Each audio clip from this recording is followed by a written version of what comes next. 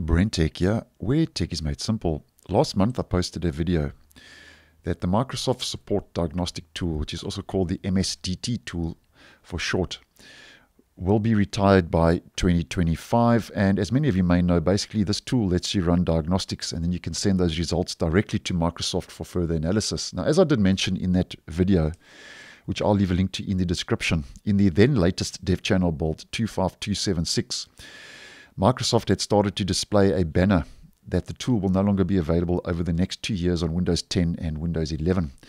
Now, if the deprecation of this tool is affecting you, Microsoft has recently given us a little bit more information why they are retiring and deprecating uh, the MSDT tool over the next couple of years. Now, as many of you may know, um, we get some troubleshooters that come bundled uh, in Windows 10 and Windows 11, which are found on the Troubleshoot Other Troubleshooters page.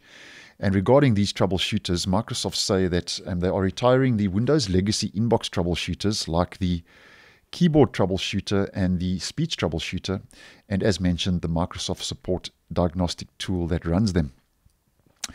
Now, in regards to this, Microsoft has given us a little bit of interesting info where they say that this will all go into effect on devices running the next release of Windows 11. The next Windows 11 release date is still to be determined.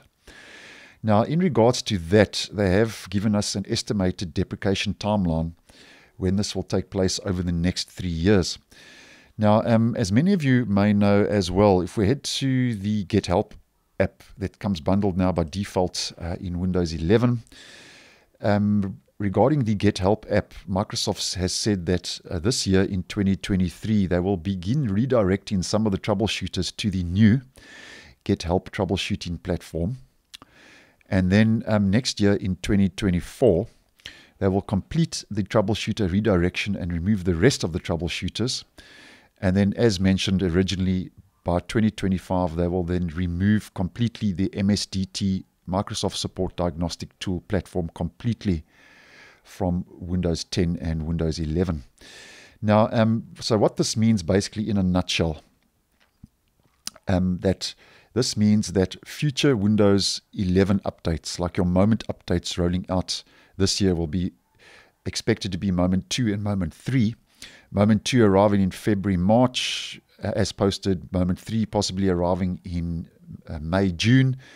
And then your next version release and major version upgrade of Windows 11 version 23H2, possibly rolling out in September and October, will not see um, some of those legacy troubleshooters and so on.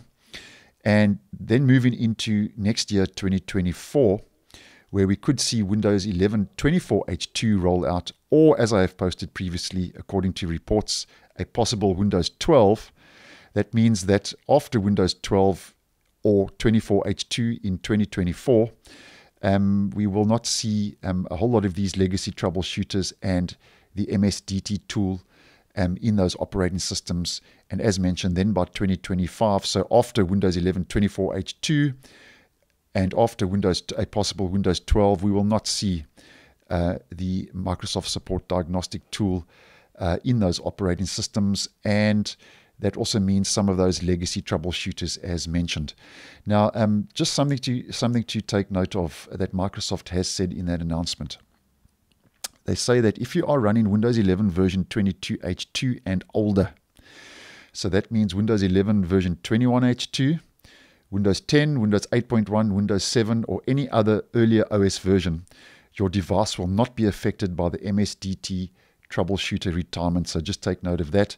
This will only affect um, the next release of Windows 11. So those will be the moment updates, version 23H2, Windows 11 24H2, or a possible Windows 12. So just wanted to keep you in the loop if this deprecation and retirement was affecting you. So thanks for watching, and I will see you in the next one.